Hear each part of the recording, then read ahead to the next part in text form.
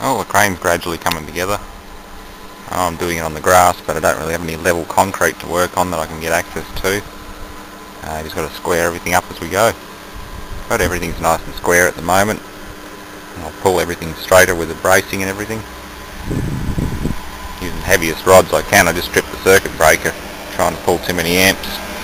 The old power lead's getting a bit warm. Definitely need a bigger welder. I'm looking at a second-hand MIG very soon. That might make things a bit easier. Oh. Well, my dad decided to drop in his welder since my little uh, cheapo piece of Chinese crap keeps overheating and switching off. And I must say they are a very nice welder. They are a uh, inverter drive welder. They're not transformers. They weigh very little and they put a ton of amps. It's up to 200 amps. And the welds come out very nice. Got a few little patch-ups to do on here and finish off these braces. And I'll try it out with this new welder. Well, that weld, weld came out quite nice. A little bit higher than I wanted because the current's a bit low, but it's better than the crappy old welder I had before. That's not going to break. Likewise all these. They came out quite nice. Well folks, this is about it.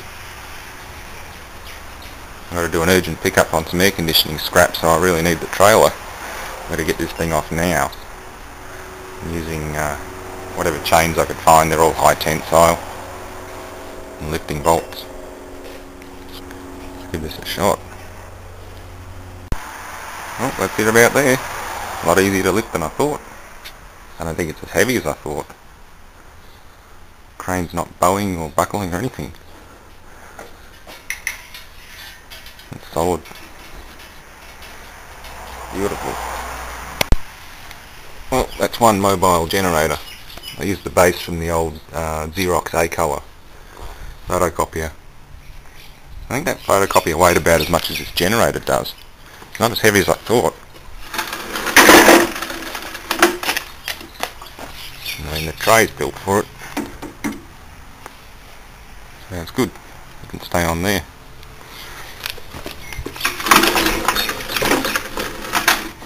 Well, time to go pick up some air conditioners. Thanks for watching folks.